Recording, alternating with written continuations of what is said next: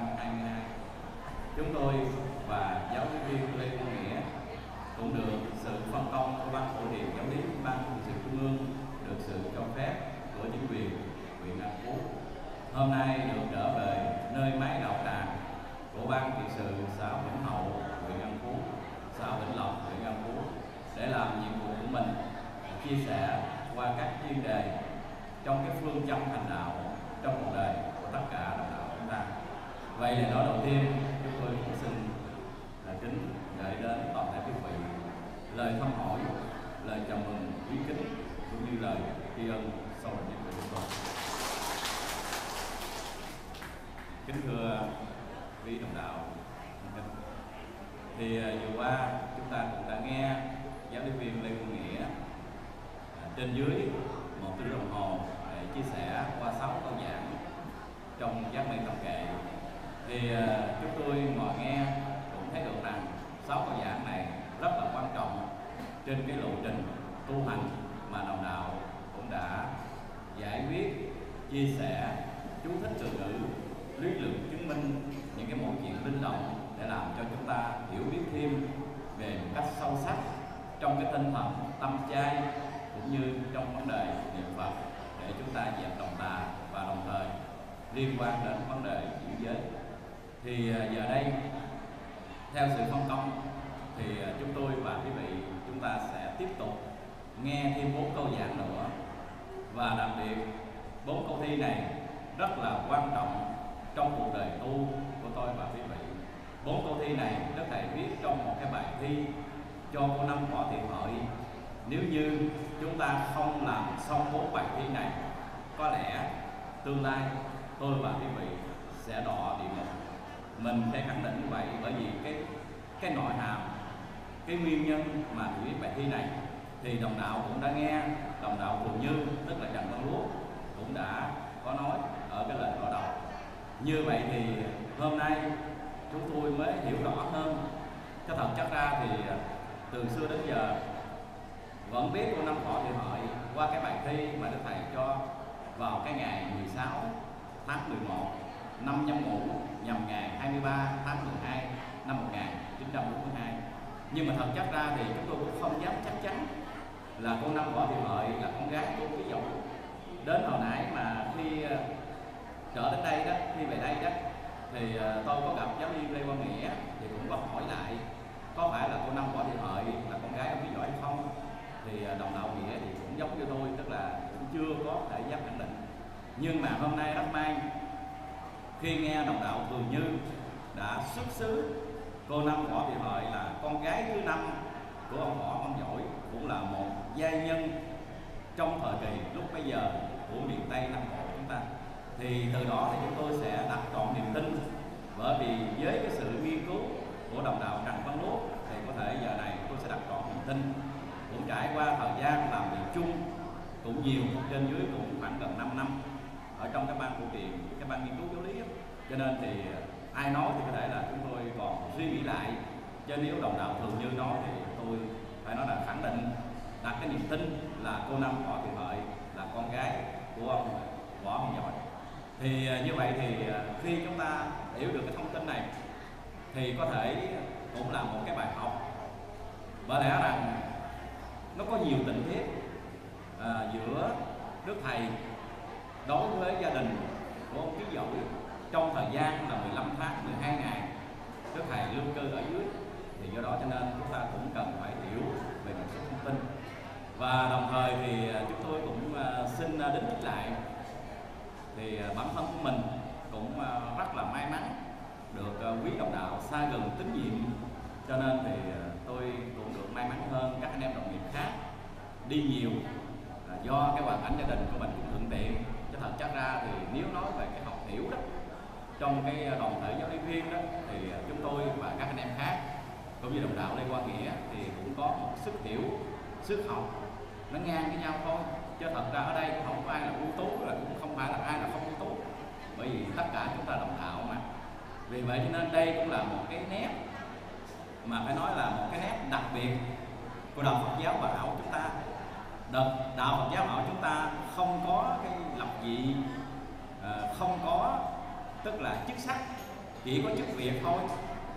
Trên là đức thầy dưới là tất cả đồng đạo chúng ta thì trong cái cộng đồng đạo chúng ta thì mỗi người giữ một cái vai trò khác nhau để làm cho pháp vương là đạo, để mục đích chính là truyền đạo tu hành thôi. Ví dụ ví dụ như tôi và đồng đạo nghĩa thì cái vai trò chúng tôi phải đứng đây để nói chuyện cho quý vị nghe.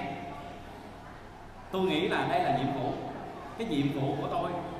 Khi quy đạo Phật giáo Hòa Hảo được Đức Tôn Sư đặt để, được ban hữu viện phân công, nhiệm vụ là phải đứng đây để nói chuyện cho quý vị nghe. Rồi cũng như nhiệm vụ của đồng đạo thường như, tức là đồng đạo trần văn lúa nhiệm vụ đạo này phải là lại cho đàn hậu. Mà chúng ta thấy cái sự nghiên cứu đồng đạo rất là chuẩn. Cũng có những cái bài pháp hội rất là tuyệt vời. Chúng tôi rất tiếc là không phải là giáo lý viên phải chỉ đồng đạo là giáo lý viên nó được đứng diễn đàn như chúng tôi thì trong đạo chúng ta sẽ có thêm một nhân tài về cái sự hiểu thâm niên và hơn thế nữa thì quý vị có một nhiệm vụ khác hơn. Nhiệm vụ quý vị là trưởng ban trị sự, là phó ban trị sự, là thành viên ban trị sự. Nhiệm vụ quý vị là những người nấu cơm, những người điều thuyết giảng, những người cho dò lo, dọn dẹp, mâm bàn, những người giữ xe, những người làm từ thiện các nhà, những người làm tài xế xe cấp cứu, vân vân. Thì tất cả những cái đó là những cái phần sự của tất cả. Mà nói về cái phần công đức cái phần thì chúng ta làm đều có công đức ngang nhau. Nếu như người nào mà bỏ được cái bản ngã, không còn chấp, dẹp đi cái sự dị kỷ nhỏ mọn của mình, thì cái sự chứng quả xin thưa rằng không khác. Còn giàu rằng là một giáo lý viên đứng diễn đàn, nhưng mà vị giáo lý viên ngã, ích kỷ quá, rồi có những cái này thế khác quá, xin thưa rằng cái công đức mà thu gặt được, thua cái anh giữ xe ở ngoài phía trước, cái anh mà phát thẻ chúng ta buổi sáng nay đó anh này với một cái tinh thần vô ngã, trong tinh thần tôn sư trọng trọng đạo, sẵn sàng ngồi ở ngoài giữ xe, phát từ cái thẻ, cầm cục phấn ghi đi xe từ con số, niềm nợ hơn quan tiếp đón đồng đạo, rồi dắt để đưa chúng ta thì người này công đức không nhỏ. Cho nên ở đây chúng tôi nói như vậy nên chi, tất cả chúng ta, mỗi người đều có phần việc khác nhau vì vậy cho nên đồng đạo chúng ta cái quan trọng mình phải ráng tu. Có ráng tu chúng ta gặp thầy. Có ráng niệm phật, ráng giữ giới. Như đồng đạo lê ô nghĩa nói vừa đầu thì chúng ta mới giải thoát. Chứ không phải là giáo lý viên là mà giải thoát. Giàu cho giáo lý viên có nhiều ưu tú chăng nữa, nhưng mà không niệm phật, không ráng tu, chỉ có một cái kiến văn thôi, thì xin thưa rằng vẫn ở lại, vẫn bị đọa lạc đầm luân vẫn rơi vào một trường hợp như cô năm võ thị hợi mà cái bài thi chúng ta sắp chuẩn bị trình bày. Kính thưa quý vị, giàu rằng tôi là trưởng ban, giàu rằng tôi là phó ban, mà giờ này tôi không tu hành, không tinh nghiêm giữ giới, thì tôi vẫn thua cái chị nấu cơm ở trong bếp, cái chị rửa chén mà sau hè. Kính thưa đồng đạo cho nên chúng ta phân tích cho rõ vấn đề như vậy để mình thấy được cái tính hài, cái tính hài hòa đồng điệu của đồng đạo chúng ta mà đức thầy đã đặt để cho nên đây là một cái nét đặc thù của đạo Phật giáo Hòa Hảo người nào có tu, người nào có giữ giới, người nào có hành đạo thì đó mới là cái người cao quý. Còn chức vụ, nhiệm vụ, đây chỉ là cái phương tiện để cho chúng ta làm trọn cái vai trò của người tín đồ trong cái cuộc sống hiện tại. Khi chúng ta gặp thầy, chúng ta gặp phật, để rồi mình còn hướng về tương lai. Vì vậy cho nên ở trong giai đoạn hiện tại này chúng tôi mong rằng tất cả chúng ta, nếu người nào giữ vị trí nào, thì chúng ta phải cố gắng làm cho tròn cái trách nhiệm cái phận sự ở vị trí đấy. Nếu chúng ta làm tròn, thì cái như là sống. Kính thưa đồng đạo, mà nếu chúng ta không làm tròn, thì giàu rằng quyền cao trước trọng cái nào, thì cuộc đời chúng tu hành chúng ta đã bị hỏng mất, thì nó không hết. Cho nên hôm nay trở lại qua bài thi cho cô năm võ thị hợi đức thầy viết trên dưới có 20 câu thôi và đặc biệt thì giờ này, tôi và quý vị chúng ta sẽ trình bày bốn cái câu đầu tiên mà thầy dạy là hãy ráng tu tâm, dưỡng tánh lành. Đừng cho ma nghiệp vọng tâm sanh, quay về cõi phúc đường chân đạo. Phật pháp thiền na dốc thực hành. Như vậy thì bốn câu này, trong 20 câu này thì đồng đạo đã rõ rồi. Cái nguyên nhân tại sao thầy viết bài này? Bài thi này thầy viết riêng cho cô năm võ thị hợi. Và đồng thời, bài thi này các thầy cũng nhắc nhở tất cả đồng đạo chúng ta. Và lẽ, giờ này chúng ta hiểu ngay rằng cô năm võ thị hợi là tín đồ của đạo phật giáo hòa hảo. Yếu tố đầu tiên chúng ta xác định là cô năm võ thị hợi là tín đồ đạo phật giáo hòa hảo. Nói nôm na cũng như tôi và quý vị lúc bây giờ nhưng mà giàu sao đi chăng nữa, cô năm cũng có phúc hơn mình. Bởi vì cô năm được quy y trực tiếp đức thầy, và đồng thời cô năm được gần gũi đức thầy trong một thời gian ở chung một nhà với nhau, trong khi đức thầy đang ở tại nhà học ký dỗ vì vậy cho nên nếu nói về cái túc duyên đó, thì đáng lẽ ra đường tu cô năm tinh tấn lắm. Nhưng mà không ngờ ngược lại. Thế nào là ngược lại? Bởi vì đây là một cái vị phải nói là có một cái sắc nước hương trời. Cho nên sống ở trong cõi đời này quả với phúc nó ngang với nhau, nhất là với đồng đạo mà với nữ đó. Những người nào mà có một nhan sắc tuyệt vời đó, thì quý vị hết sức là cẩn thận thấy như vậy chứ không phải là phúc đâu. Phúc là đối với đời, nhưng đối với đạo, cái người mà đẹp quá đó, thì xin thưa cũng hơi khó tu. Cho nên ngày xưa thì đồng đạo biết bà tôn bất nhị, trong pháp chân văn quả bà hoại sắc. Bởi bà cảm nhận được điều này thì vì vậy cho nên không phải chúng ta nói điều này là mình phủ nhận là cái người đẹp, khó tu không phải vậy. Nhưng mà khi chúng ta có là một cái người đẹp rồi, thì mình cũng phải hết sức là cẩn thận. Rồi chẳng những nam nữ mà nam cũng vậy. Đồng đạo còn nhớ trường hợp a nan không? Phải a nan mà không có một cái à, sắc nước hương trời a nan đâu có bị ma năng già là xâm phạm vào cái giới thể. Cho nên thì nói chung nam nữ cũng nhau thôi. Nhưng mà một điều chúng ta khẳng định ngay là gì? Trên con đường tu hành của con năm võ thị hợi thì rất tiếc nửa chừng, cô quay trở lại nhiễm đời. Vì vậy đức thầy mới dạy là chớ nhiễm trần hoàng đường phấn son. Chim bao cuộc thế hệ thường còn, chi bằng nhớ lại câu phòng thệ tỉnh ngộ nghe thầy dạy hỡi con. Hỡi con đời tồn đất hôi tâm, trí huệ trao dồi kiếp nẻo thanh mãn kiếp hồng trần, sanh là quốc, hưởng công niệm phật rất yên lành. Mà đức thầy dạy rồi đặc biệt là đoạn cuối cùng thầy nhắc nhở rất rõ, chẳng sớm về nhà lo sám hối. Cầu trên phật tổ giải mê căn, ắt là hồn trẻ còn đâu nữa. Địa ngục, trầm luân, cách thượng tầng, rất rõ ràng. Như vậy thì đồng thời hai bài thi đức thầy cho hai người. Một là có năm võ thị hợi, hai là cô hai gương cần thơ nhưng mà bài cho cái hương cần thơ thì cô hai hương cần thơ nhờ quay lại hướng thiện, tu hành tiếp tục, cuối cùng được thầy cứu. Còn trường hợp có năm võ thế hợi thì xin thưa là đức thầy cứu không được. Quý vị ơi, có bốn điều đức phật không làm được. Đức thầy chúng ta cũng không ngoại lệ. Cái thứ nhất, đức thầy và đức phật chỉ độ người có duyên.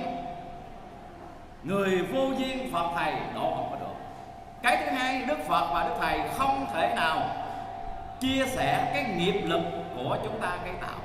Hôm nay tôi và quý vị có vướng nghiệp thì chỉ có cách chúng ta tu hành mới giải nghiệp thôi. Còn nếu như giờ này vào đàn phật vào đàn thầy có một cái quyền năng đặc biệt, nhưng các ngài không thể nào chia sẻ cái nghiệp lực của chúng ta. Cái thứ ba nữa, đức thầy, đức phật không làm được là gì? Các ngài không thể nào ban cái trí tuệ cho chúng ta được.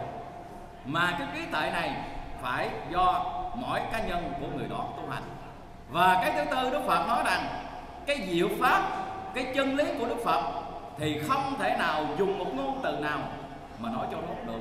Đức phật và đức thầy, chúng ta chỉ phương tiện bởi vì chúng sanh mê nên đem pháp thuyết giải thoát rồi, pháp bất khả dùng. Đức thầy thấy mình mê quá cho nên ngài có phương tiện để viết cái quyển sách giảng thi văn toàn bộ, gọi là hạ bút thần có đã đề và ngài đã thuyết pháp độ đời, gọi là miệng cách môi đầy văn tao nhã, để đưa chúng ta vào lộ trình giải thoát mà thôi cho nên đây chỉ là phương tiện.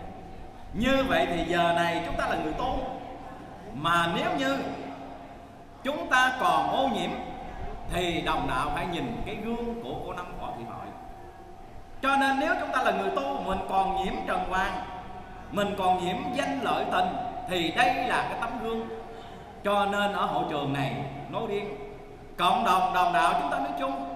Mà nếu như giờ này đồng đạo nào còn yếu, còn biết mình, còn ham cái này, còn mê cái nọ, trong cái cõi trần hoàng này, trong cái biển khổ sanh tử này, nói tóm lại là mình còn phạm với luật, mình còn đam mê danh lợi tình thì chúng ta hãy nhìn ngay cái gương của cô năm võ thị hợi. Cái tương lai chúng ta sau khi cái ngày bỏ xác rồi, thì nhất định chúng ta sẽ đọ địa ngục đó. Địa ngục trầm luân, cách thượng tầng đây không phải là cái chuyện giỡn gì. Đây là một cái chuyện thực tế mà đức thầy đã viết. Vì vậy cho nên để thoát cái trường hợp đó, thì ngay giờ này, mỗi đồng đạo chúng ta phải sám hối, phải ăn năn. Và đồng thời ăn năn sám hối thuộc về tướng. Còn trở về nội tâm, thì đồng đạo phải ráng thực hiện được bốn câu giảng mà ngày hôm nay theo sự phân công chúng tôi và quý vị, chúng ta cùng nhau chia sẻ. Như vậy thì câu đầu tiên thầy dạy là hãy ráng tu tâm dưỡng tánh lành. Như vậy thì đầu là hãy ráng, cuối là lành. Cái đoạn giữa là tu tâm dưỡng tánh. Vậy thì cái quan trọng là chúng ta phải thực hiện được cái hãy ráng. Nếu không ráng, giống trường hợp của năm võ thì hợi là không đạt kết quả. Bởi vì hôm nay trên con đường tu hành của chúng ta, cái tướng nó chỉ là phương tiện ban đầu không phải là mục đích cứu cánh. Đồng đạo nhớ rằng cái tướng chỉ là phương tiện thôi. Chúng ta có tướng mặc đồ bà ba chúng ta có một tướng đạo để tóc, chẳng hạn. Có tướng cúng lại, cái tướng ăn chay, cái tướng làm từ thiện, cái tướng ngồi niệm phật tịnh tọa, thì tất cả cái đó là tướng. Nó là phương tiện. Còn mục đích cứu cánh đó thì nó rơi vào ở cái chỗ tâm tánh của chúng ta mình phải lấy cái tướng bên ngoài để chúng ta chuyển hóa cái nội tâm. Có như vậy thì mới đạt được kết quả. Còn giờ này chúng ta có cái tướng mà nội tâm chúng ta không có được tốt, nội tâm chúng ta nó còn nhiều cái điểm tà quấy, thì không bao giờ chúng ta đạt được kết quả đồng đạo ạ. Cho nên cái mục đích chính mà đức thầy đã đời mới đạo là gì?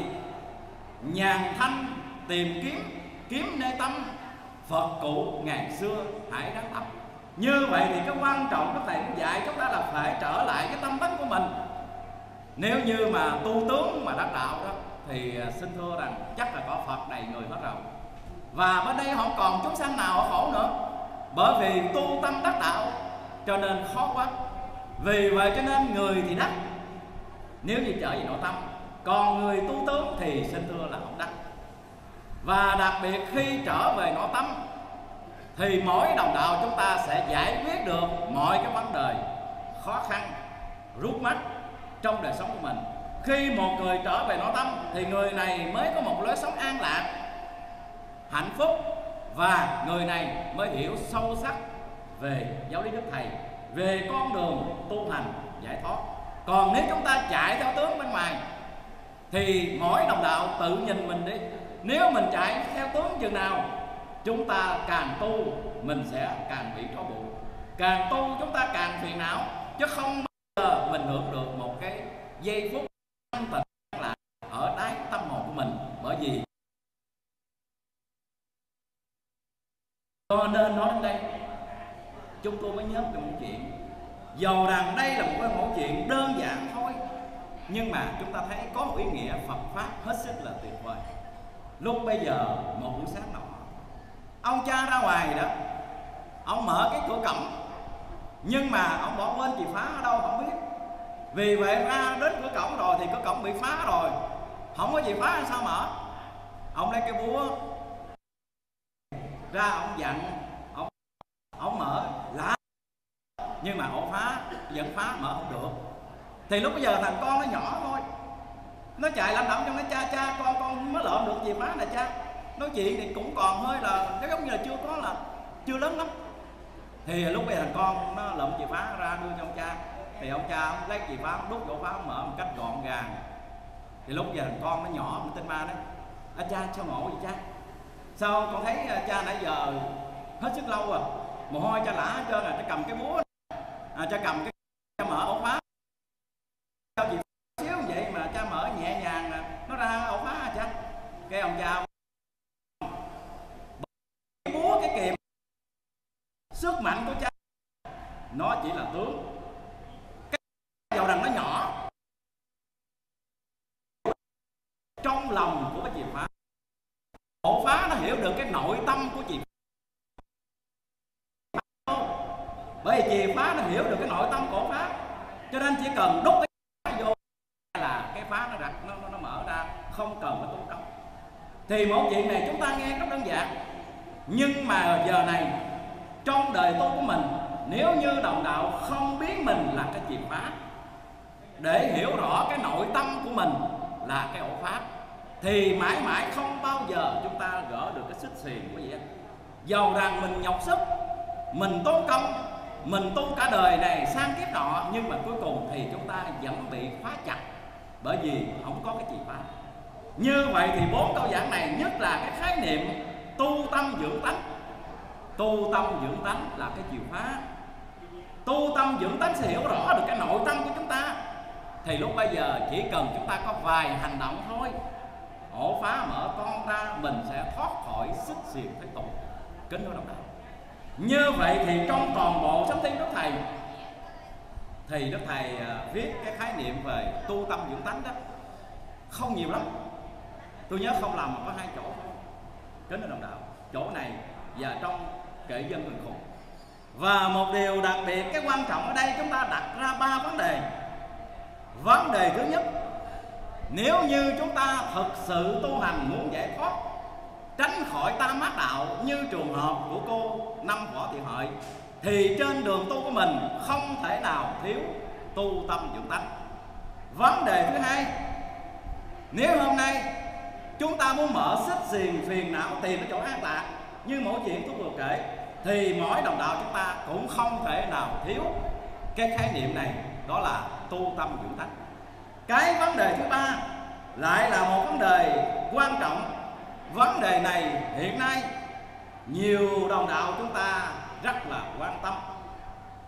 Quý vị biết rồi, khi nói đến lầu đài núi cấm lộ nay mai khi nói đến trên năm non rồng phụng, tốt tươi miền bảy núi, mà sao báo quý? Tôi cũng nôn lắm muốn biết coi cái báo quý này sao? Lầu đài như thế nào?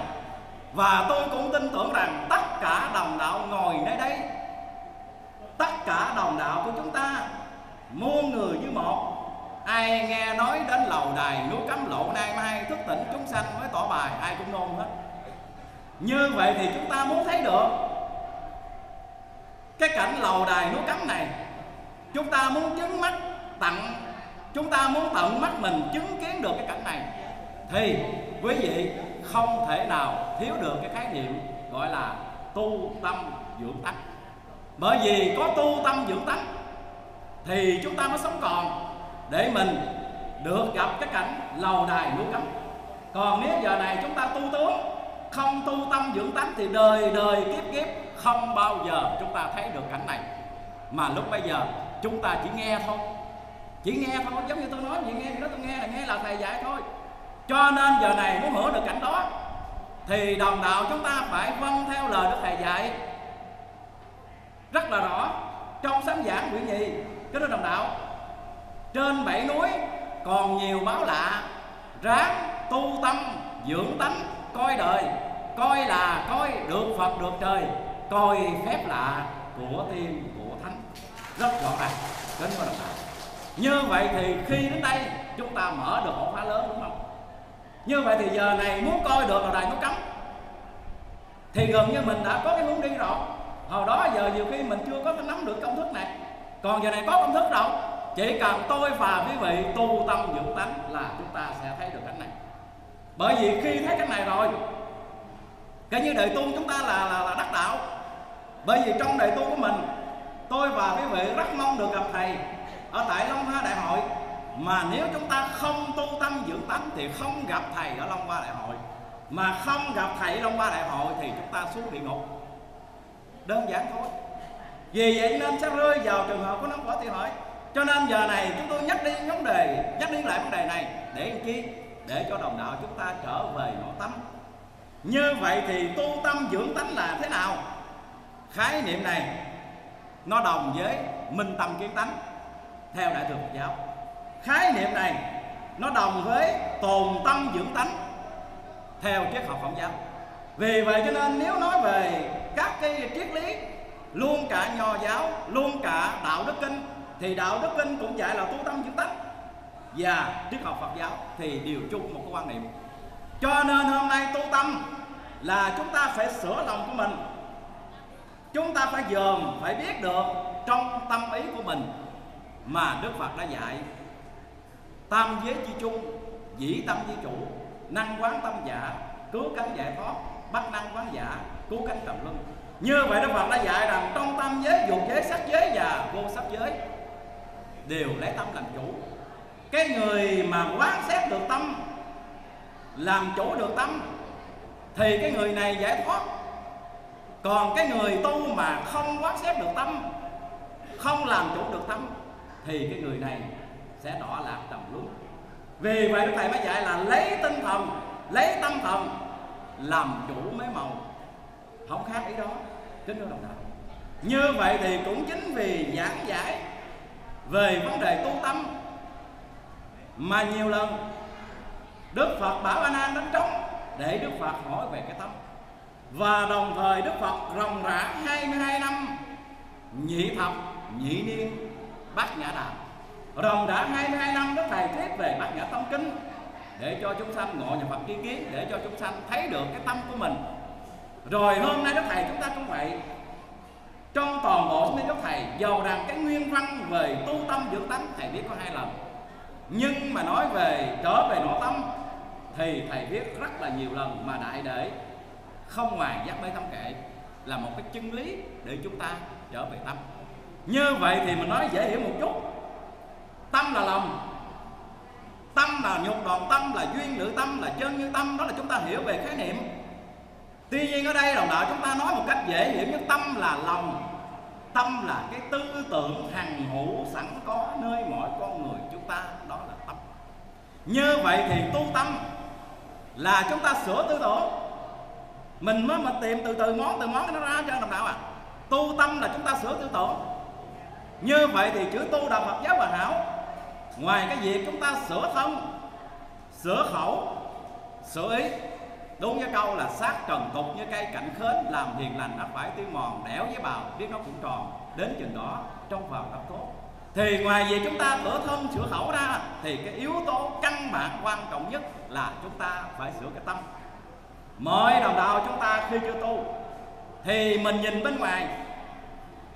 Thấy cái này thương quá, thấy cái này ghét quá, thấy chị này dễ thương, thấy chị kia dễ ghét, ích kỷ. Mọi thứ vân vân vân vân. Nhưng mà hôm nay chúng ta tu đúng theo lời đức thầy rồi, thì thay vì chúng ta nhìn bên ngoài, thì giờ này đồng đạo phải quay trở lại dồn lại nội tâm của chúng ta. Khi mỗi khi chúng ta rảnh thì đồng đạo nên ngồi lại, nên nhìn lại chính mình. Hồi sáng giờ tư tưởng mình nó đi đâu? Nó làm cái gì? Nó nghĩ cái gì? Nó có thương không? Nó có ghét không? Nó có buồn ai không? Nó có giận ai không? Hay hoặc nó nhớ niệm phật? Hay hoặc nó nhớ bài thuyết giảng? Hay hoặc là nó đọc giảng thầy? Thì mọi thứ chúng ta phải nắm vững. Mình phải luôn luôn ở trong một cái thế gọi là chủ động. Nếu như trong cuộc sống của mình mà mình không chủ động được cái tâm của mình để cho nó rơi vào trường hợp như đức phật dạy đó là tâm viên với mã. Bỏ quên cái tâm hồi sáng giờ cái tâm nghĩ gì không biết nữa. Thì đây là một điều nguy hại trên đời tu của mình. Theo nhà Phật gọi đây là một trạng thái gọi là vô kiết không. Tức là một cái trạng thái mà gần như mình không có nắm vững được. Cái tâm mình nghĩ cái thế nào?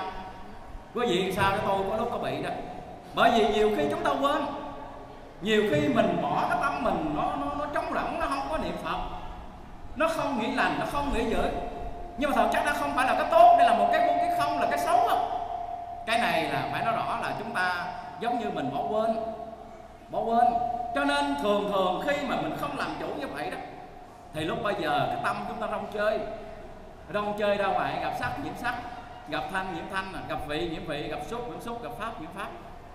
Nó sẽ nhiễm ô, nhiễm tất cả mọi thứ bên ngoài. Cho nên hảo nào trong đời tu của mình nếu như tôi và quý vị mà chúng ta cố gắng nhớ lời Đức Thầy, thì chắc là chúng ta đã có tu tâm từ lâu. Tại sao lại là nhớ? Vậy thì mình không nhớ sao? Bởi vì Dục đạo nhớ kỹ thầy dạy thế này. Sự đầu tiên của người hành đạo là cốt sửa những tư tưởng, tìm cách đánh đổ tư tưởng xấu xa đem thay vào bằng những tư tưởng ôn hòa đạo đức thì đây là tu tâm đó đáng lẽ ra đây là cái việc đầu tiên mà thầy viết trong cái bài trong việc tu thân xử kỹ trong các cái bài pháp luận mà khi đức thầy kết thúc bài thi này. Như vậy thì đây là cái việc đầu tiên nè. Việc đầu tiên trong đời tu mình là mình phải dồn lại sửa tư tưởng của mình. Mà nếu như người nào, đồng đạo cá nhân nào mà có quay lại sửa tư tưởng của mình, thì lúc bây giờ mình tham, mình biết liền mình sân, mình biết liền à. Mình si, mình biết liền à bởi vì mình đang dòm mình.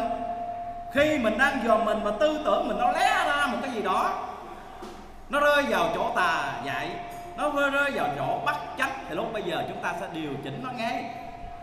Điều chỉnh nó ngay liền trong nội tâm của mình thì làm gì có hành động. Còn nếu như chúng ta bỏ lãng cho nó nó nghĩ gì nó nghĩ kệ nó thì lúc bây giờ khi mà chúng ta chợt nhớ nó là lúc bây giờ nó thành hành động rồi. Cho nên đức thầy dạy là dạy cái gốc à. Tu tâm là và đồng thời với tu tâm thì bên cạnh đó chúng ta phải dưỡng tánh. Tâm trong, tánh bên ngoài. Tâm đó, tức là thể mà tánh là cái dụng bên ngoài. Nói nôm na dễ hiểu tâm là dầu mà tánh là cái ngọn lửa bên ngoài. Như lửa nội tâm, bên ngoài ta phải dưỡng tánh. Tại sao gọi là dưỡng tánh? Dưỡng tánh nào? Vì nên đức thầy đã dạy rút trong tam tự kinh của lão tử, của của của mạnh tử, tức là nhân chi sơ, thiện cận tánh, tương, viễn. Ở trong tam tự kinh, trong tương thơ. Vì vậy cho nên lúc bây giờ thì đức thầy mới rút lại giác mê tâm kệ. Cái mục đích chính giải mê tâm kệ là thầy cũng dạy ngay vấn đề này.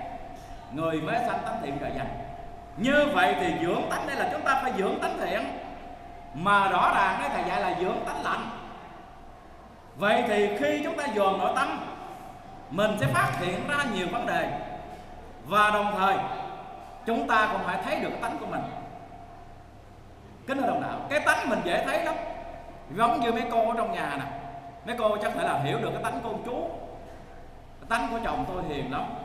Nhiều tánh của chồng tôi thế này, thế nên cái người mà sống gần với mình, hiểu được tánh của mình và đồng thời cái quan trọng ở đây mỗi đồng đạo chúng ta mình phải biết mình hết.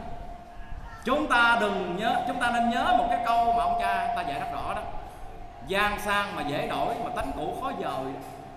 Tánh cũ này không phải là tánh xưa mà tánh cũ là tánh tập nhiễm lâu năm.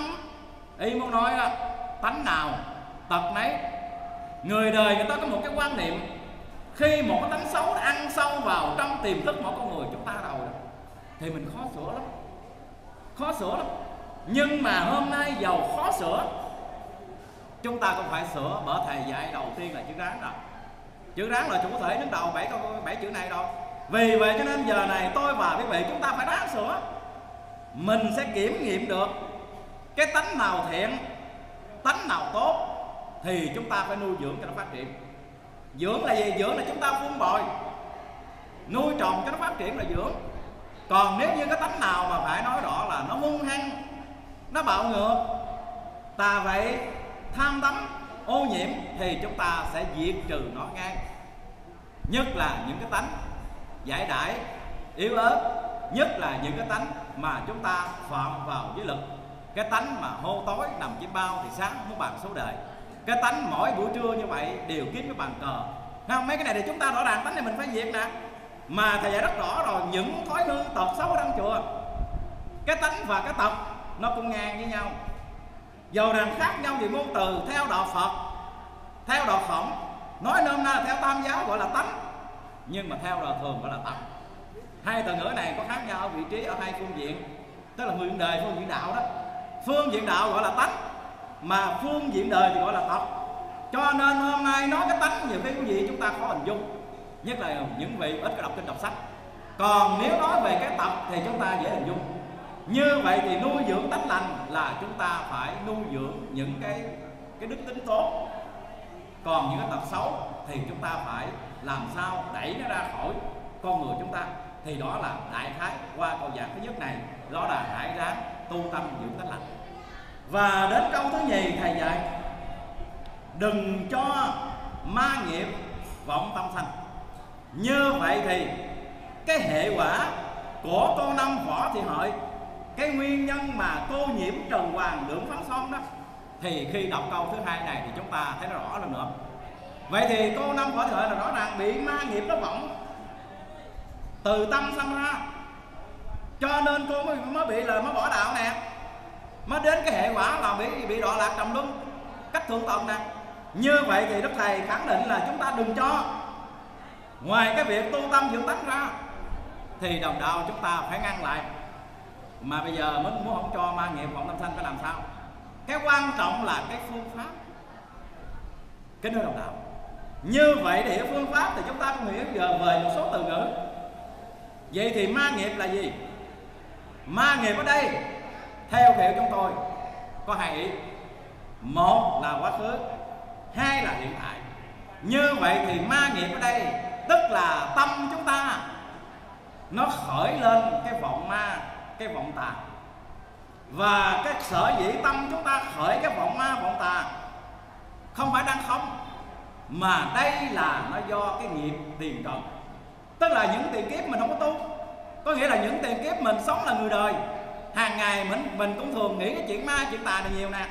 Cho nên khi chúng ta đào thai lại con người tại thế gian này, thì những cái tập khí những cái nó có sẵn ở tiền kiếp đó, thì nó sẽ tái tạo lại. Cho nên đó là nghiệp. Tức là nghiệp của quá khứ. Tôi nói ví dụ bây giờ kiếp trước mình không có tu, tâm của mình dãy đầy cái sự tà niệm hết. Vì vậy cho nên khi mà chúng ta sinh ra, thì lúc bây giờ cái cũ á, cái cũ ở kiếp trước á ở nhiều kiếp trước đó nó sẽ khỏi lên. Mà theo nhà Phật, đó gọi là nghiệp.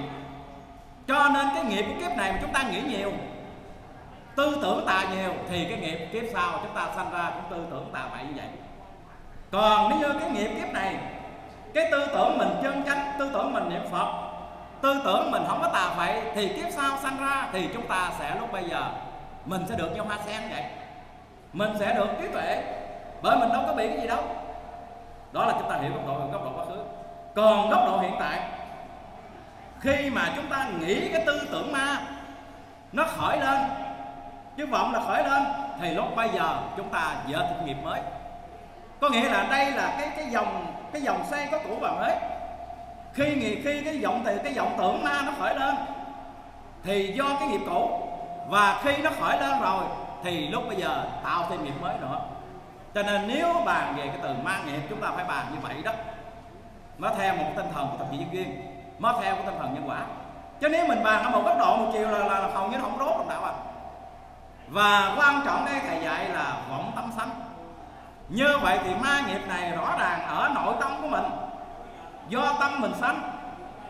Cho nên thầy mới dạy tu tâm dưỡng tánh nè. Ma nghiệp này không phải bên ngoài, mà ma nghiệp này ở tại nơi tâm của mình.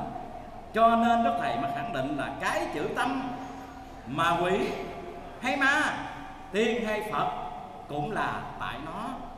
Kính thưa đồng đạo vì vậy cho nên chúng ta phải biết được rằng cái tâm mình nó sẽ sản sinh ra rất là nhiều cái món đồ. Cho nên tôi thường nói, tâm là chủ thể, tâm là ông chủ. Tâm đưa chúng ta lên thiên đàng, tâm kéo chúng ta về địa ngục như đức thầy dạy, tôi vừa nhắc lại một đoạn.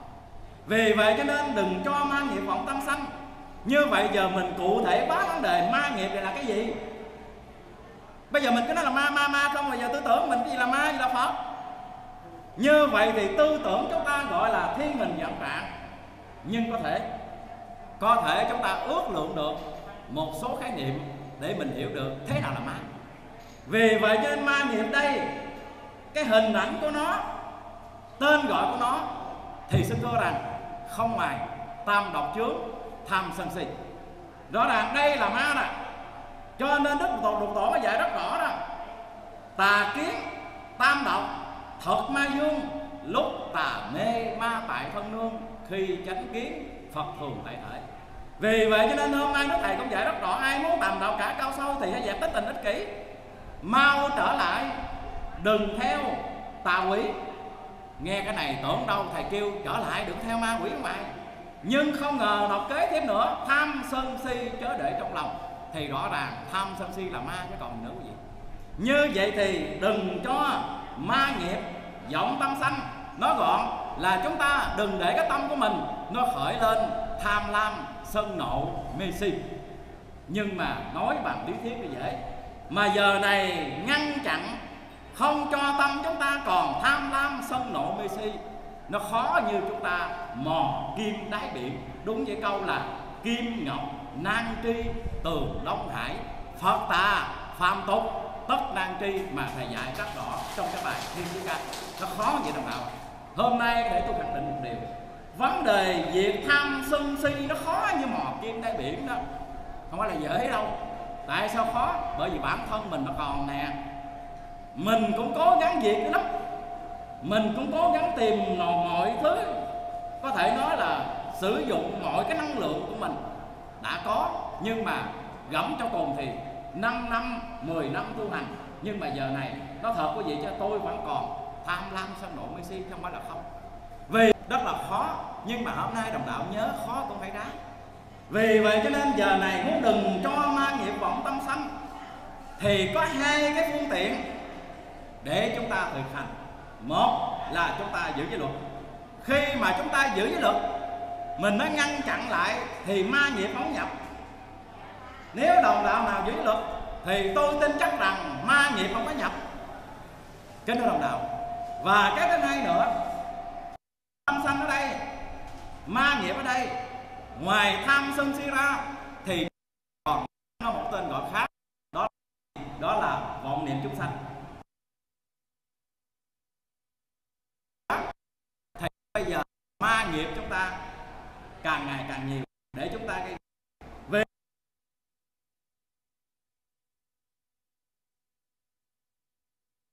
gia công. Sáu chữ.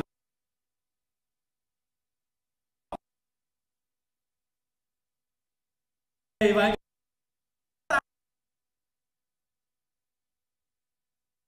Mà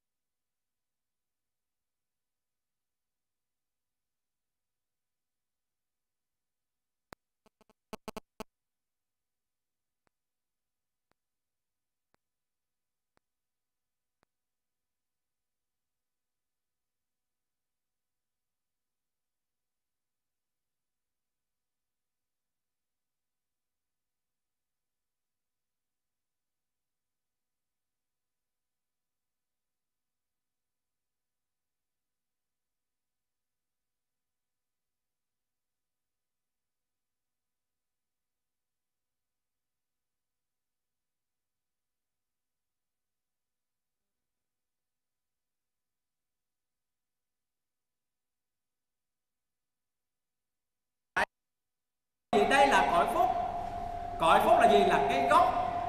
Cái gốc để tạo phước. Mình nói nghĩa đen đó. Cội phúc là cái gốc của tạo phước. Đường chân đạo là gì? Đường chân đạo là một cái chân lý màu nhiệm của đạo. Một chân lý này ngày xưa đức thích ca mâu ni, ngài đã dạy môn nhân đệ tử, đã kinh qua, đã trải nghiệm và đã đắc thành chánh quả và đã thực hiện cái vai trò giáo chủ dạy đạo cứu đời đã đưa hàng hà, xa số chúng sanh vào lộ trình giải thoát. Như vậy thì cái câu đường chân lý ở đây, nếu mà chúng ta hiểu về cái lý từ đó, đây là một cái chương trình tu học. Và chương trình này, Đức Phật đã độ năm anh em Kiều Trần Như, cũng còn gọi là cái bài pháp đầu tiên, là một cái con đường chân lý. Thì con đường này không mài tứ diệu đế tức là quay về cõi phúc đường chân đạo. Đường chân đạo đây không mài tứ diệu đế, đây là con đường chân lý tuyệt diệu con đạo chúng ta. Ý đức thầy, muốn dạy có năm quả thì hợi và tất cả chúng ta giờ này quay về. Đây là cái gốc tạo phúc nè. Gốc lành. Bởi vì khi mà chúng ta hiểu, thẩm thấu về tứ diệu đế, thì lúc bây giờ chúng ta không còn nhiễm hiểu được khổ đế, cuộc đời là khổ, nội mà tám nỗi khổ thôi thì chúng ta thấy nó làm cho mình hết là phải nói rõ là uy lị khổ thảm độc. Mà thầy dạy đức thích ca từ xưa dạy bảo khổ ta bà. Khổ đế ra chúng ta hiểu về thêm nữa về tập đế. Nguyên khổ.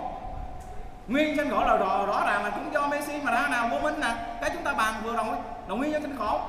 Rồi thời diệt đế là gì? Sau khi hết khổ mình sẽ hướng được hướng được cái quả vị gọi là niết bàn nhưng mà tự trung lại cái điều quan trọng nhất ở đây. Khổ đế, tập đế, diệt đế. Giống như ông thầy, ông bắt mạch. Ông nói rằng à, cô là bị cái bệnh gì đó, ung thư hoặc là bệnh gan, bệnh thận gì đó. Nguyên nhân mưa, dầm mưa, giải nắng, ăn uống không có điều độ. Và nếu như hết bệnh rồi, cô khỏe lại. Nhưng mà lúc này ông thầy chưa ra thuốc. Vì vậy cho nên tứ diệu đế cái gì cũng thuốc của tứ diệu đế thì xin thưa rằng đế. Đạo đế ngày xưa thì gồm có ba bảy phẩm tứ niệm xứ, còn gọi là chân lý của đạo đó, thì xin thưa rằng nói gọn lại không ngoài bát chánh đạo, đó là đường chánh đạo. Và đức thầy đã khẳng định rất rõ là thiền lâm phật tích thở xuống kia, non tiết rèn ra bát chánh kìa phổ bá thành trong khắp chốn hoàn cầu bốn biển khắp thiên biên vì vậy cho nên chúng tôi mới khẳng định rằng đây là chân lý của đạo, gọi đường chánh đạo. Còn gọi là đường chân lý đó, có nghĩa là không ngoài bát chánh đạo. Bởi vì khi một con người mà thực hiện được bát chánh đạo rồi, thì phải nói rõ, đây mới thật là cõi phúc nè. Khi chúng ta không còn tà kiến, không còn tà tu di không còn tà nghiệp, không còn tà tính toán, không còn tà mạng, tà ngữ, tà niệm, tà định, thì mọi việc làm chúng ta bên ngoài nó thật sự là phúc còn giờ này tôi và quý vị, chúng ta còn phạm vào tám điều tà này. Chúng ta không có chánh mạng, không có chánh ngữ, không chánh niệm, không chánh định. Thì chúng ta làm cái gì nó cũng tội chứ, quý vị. Có được phước không? Làm từ thiện mà còn chánh kiến, còn tà kiến, tà tư duy, làm gì có phước? Cúng lại mà còn tà kiến, tà tư duy, tà niệm thì làm gì đạt kết quả? Ăn chay mà chúng ta còn tám điều tà này không đạt kết quả, không có phúc. Vì vậy thầy mới dạy là quay về cõi phúc là cái này bát chánh đạo là cõi phúc đó, là đường chân đạo của đạo Phật giáo bảo chúng ta. Mà hôm qua ở tại xã Khánh Bình thì chúng tôi cũng đã có trình bày chánh. Dầu rằng thời gian không nhiều, nhưng một tiếng rưỡi đồng hồ thì cũng đã khái nét một số yếu tố của bác và ở đây thì hôm nay chúng ta chỉ giới thiệu thôi. Như vậy thì đồng đạo chúng ta muốn đạt được kết quả cao hơn theo lời của thầy dạy, thì ngay giờ này, mỗi đồng đạo chúng ta phải quay về với bán chánh đạo. Và đặc biệt tại sao? Quan trọng, bởi vì đây là quyển kinh nhật tụng mà. Mà thầy dạy rất rõ, đây là quyển kinh nhật tụng quyển ai muốn thoát chống mê đồ và tấn triển con đường giải thoát. Nếu muốn thoát khỏi cảnh địa ngục, nếu muốn tạo được một cái phúc viên mãn để chúng ta được về gặp thầy, được sanh về cõi phật, thì bát chánh đạo là một cái bài học là một cái phương pháp tu hành, là một đạo đế trong tứ diệu đế, thì chúng ta không thể nào bỏ lại mà mỗi đồng đạo chúng ta phải học tập phải và chúng ta phải hành theo. Như vậy thì mới thực hiện đúng lời đức thầy, là quay về cõi phúc đường chân đạo. Và đến câu giảng cuối cùng, thầy dạy là thiền na dốc thực hành. Như vậy thì khi mà chúng ta quay về bát chánh đạo rồi thì lúc bây giờ chúng ta đang sở hữu một pháp thiện. Bởi vì trong mắt cái đạo hôm qua tôi trình bày đọc đạo ở đây nghe rất là nhiều vị có mặt ở hôm qua ở hội trường hôm qua và hôm nay nè. Thì rõ ràng chúng ta thấy rõ ràng bác chánh đạo thầy dạy rất là nhiều pháp thiện trong này. Cho nên cuối cùng là Phật pháp thiện na. Có nghĩa rằng cái chân lý rốt ráo của đạo Phật, cái phương pháp tu hành, Phật pháp 10 tháng 7 ngày. Đức Thầy để là quyển sấm giảng thi văn toàn bộ thì đó là Phật pháp vì vậy cho nên rốt lấy lại thầy dùng từ thiền na thiền na được dịch nghĩa đó là thiền định, là tĩnh lự, là tư duy. Cho nên thiền na và thiền định thì hai cái này đồng nghĩa với nhau. Vậy thì phật pháp thiền na có nghĩa là hôm nay chúng ta trở về với đạo, thì mỗi đồng đạo chúng ta phải thực hiện cái pháp thiền. Cho nên thầy dạy là dốc thực hành. Giống như trong bài nam thơ thầy dạy, hành đạo thiền, cấp cấp sớm khuya lòng thương chúng khuyên răng đủ thế. Như vậy thì thế nào gọi đạo thiền kính thần đạo, vậy thì thiền ở đây có nghĩa rằng chúng ta phải giữ bên ngoài, làm sáng bên trong. Thế nào gọi là giữ bên ngoài? Thế nào làm di thiền, nội bất loạn di định, ngoài lìa tất cả các tướng gọi là thiện, trong tâm không loạn động, gọi là định. Thì chúng ta lại liên tưởng vấn đề, nếu như giờ này đồng đạo chuyên trì niệm phật mà tâm đồng đạo không còn na dốc thực hành. Cái quan trọng thứ hai nữa, giống như một đoạn giảng mà thầy viết trong cái bài diệu pháp quang minh, tức là nội quan cảnh, tâm vô kỳ vật đường đạo đức bước đi từ đất ngoại quan hình bất chấp kỳ hình. Thì rõ ràng đoạn giảng hai câu, cách một câu giữa. Thì đoạn giảng này rõ ràng đức thầy đã thái nét được cái pháp thiền của đạo Phật giáo và đạo chúng ta cái thiền mà ngồi đâu cũng sửa vậy thì mới mau đó. Thì cái thiền này là cái thiền bắt đầu của cái người tập tu. Chúng ta phải sửa thân, sửa khẩu, sửa ý. Mình phải sống trong tỉnh thức như những cái mà chúng ta trình bày từ câu đầu đến giờ. Và đi sâu vào cái thiền mà nội quan cảnh tâm vô kỳ phật đó. Cũng như là ngoại quan hình, bất chấp kỳ hình, thì thiền này là thiền của lục tổ. Cho nên thầy mới dạy là khùng nói cho và để làm tính. Theo lục tổ, cái theo bằng tốt như vậy thì nội quan cảnh tâm vô kỳ vọng là như thế nào? Nội là bên trong. Cái chữ quan này là sát. Hai câu giảng này hai chữ quan nhưng mà hai từ này nó khác nhau. Nó đồng âm nhưng nó dị tự. Cái chữ quan của tội cái, cái câu mà nội quan cảnh chữ quan này có g chữ quan là sát. Vậy thì nội quan cảnh tâm vô kỳ vật thì lòng của tôi và quý vị lúc nào cũng phải sát như vầng trăng nhật và đặc biệt, tâm chúng ta không còn vướng một vật nào, gọi là cư trần, bất nhiễm, lẫn tục đừng mê. Như thì mỗi đồng đạo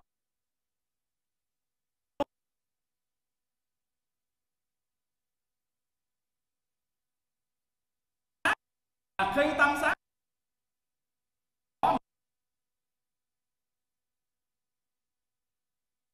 và đặc biệt khi trong tâm chứa vật gì hết. Còn giờ này tôi và quý vị thì mình thấy trong tâm mình chứa nhiều thứ quá hả quý vị? Chứa thương, chứa giận, chứa hờn, chứa ghét, chứa nhà lầu, chứa xe hơi, chứa tiền của, chứa danh vị, vân vân. Chứa nhiều thứ quá. Cho nên tâm chúng ta tối. Vì vậy pháp thiền thầy dạy ở đây một ở chúng ta làm sao duy nhất chứa câu lục tự thôi trong lòng mình chỉ duy nhất chứa phương pháp hành đạo thôi. Trong lòng chỉ chứa từ bi hỷ xã thôi. Còn này khác, chúng ta đừng chứa quan cảnh tâm vô kỳ vọng và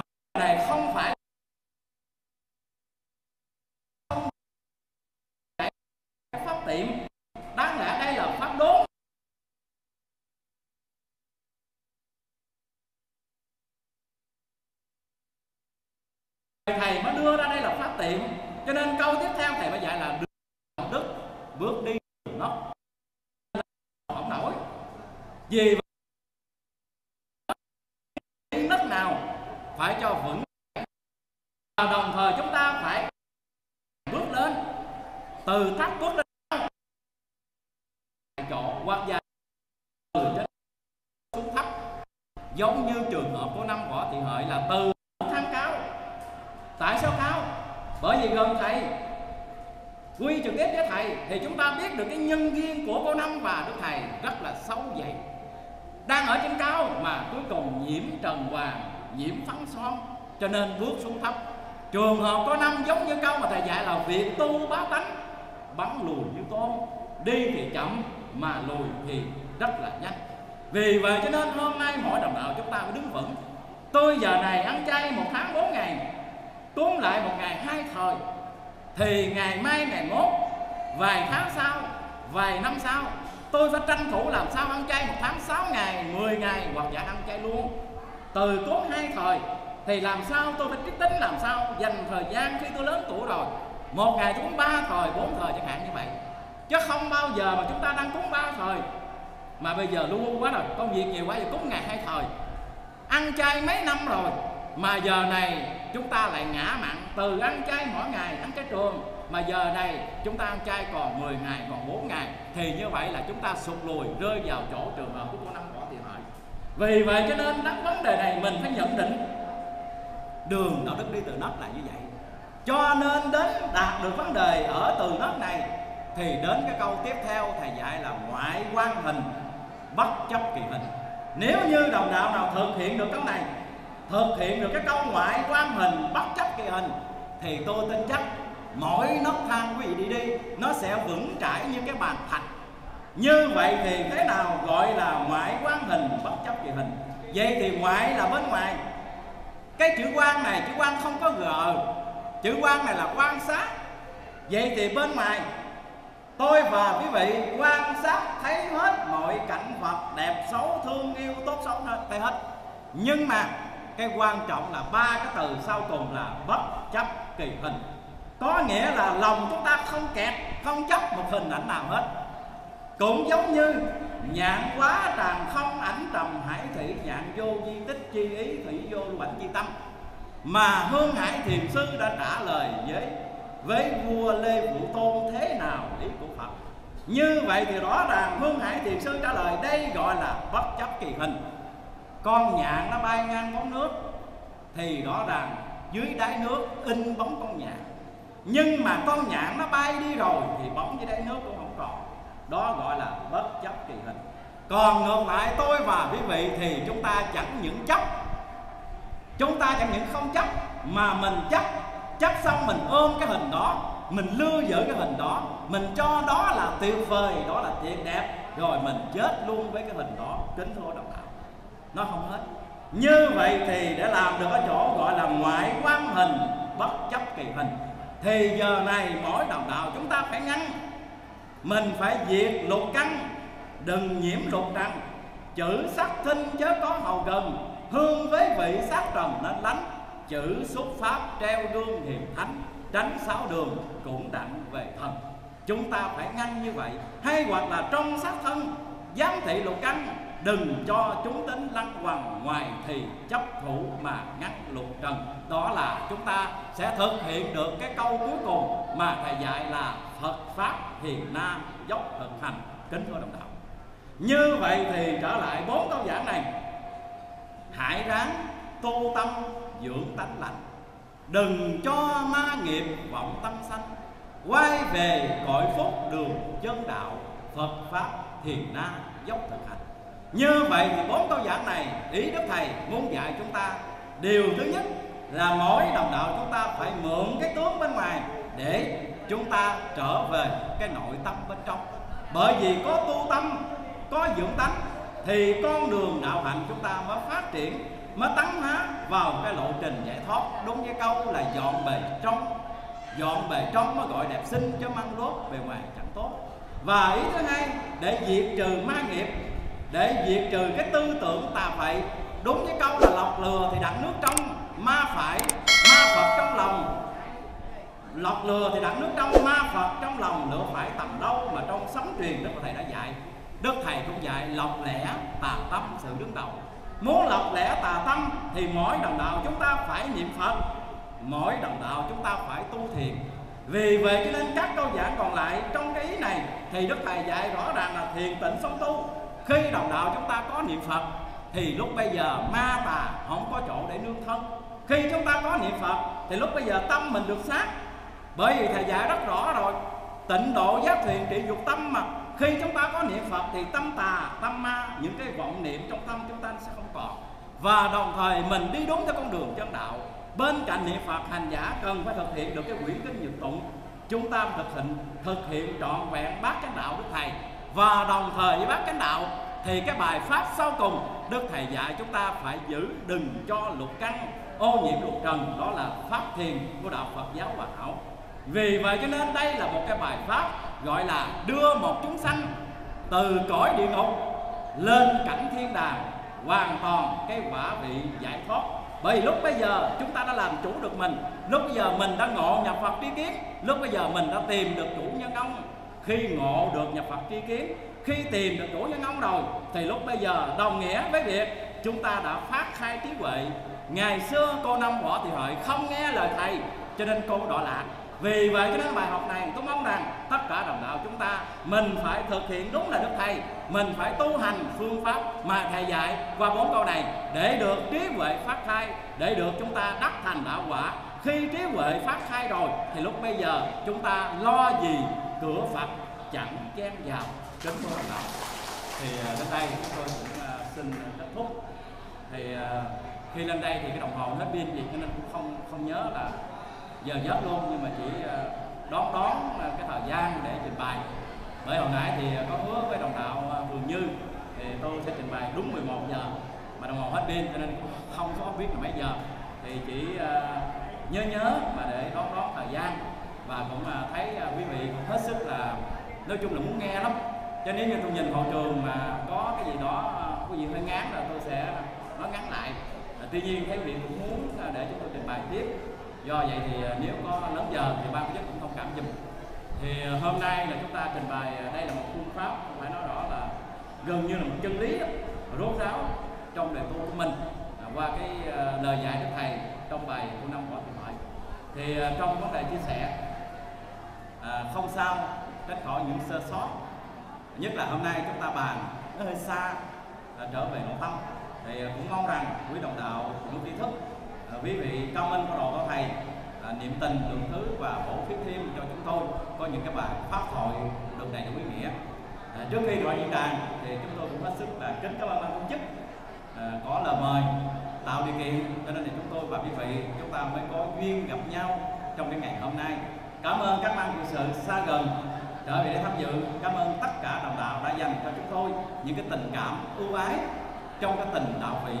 Và cuối cùng, chúng tôi xin kính chúc tất cả quý vị chúng ta luôn luôn đầy đủ sức khỏe, nghị lực, tinh tấn tu hành để vượt qua mọi cái sự cám dỗ trong cuộc đời này. Và đồng thời, tất cả chúng ta cùng nhau tâm niệm lời đức thầy, đó là định thần dẹp hết tà tâm quần lai bổ tánh, thần khâm, quỷ nhường trân trọng kính chào nam mô bổn sư thích ca mâu ni phật. Nam mô a di đà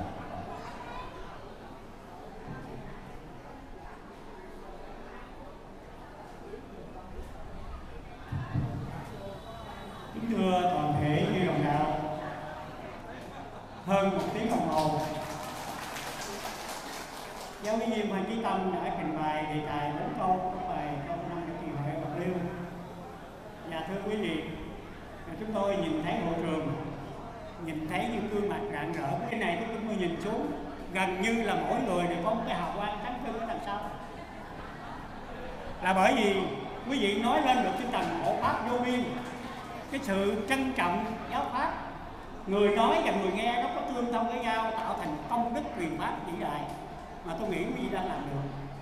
Cho nên bây giờ thay vì cái lời cảm tạ đáp từ gì đó, tôi nghĩ nó không cần thiết. Mà mong rằng chúng ta đến với nhau, đến với đạo lý bằng cả một tấm lòng vì đạo, vì thầy, ủng hộ đạo lý bằng hành động của mình. Trang nghiêm thanh tịnh giữ hội trường để tiếp thu tất cả những chia sẻ giáo lý. Người nói mang công đức truyền bá, chúng ta lắng nghe cũng là công đức truyền bá, hai công đức bằng nhau. Chúng tôi khẳng định như vậy.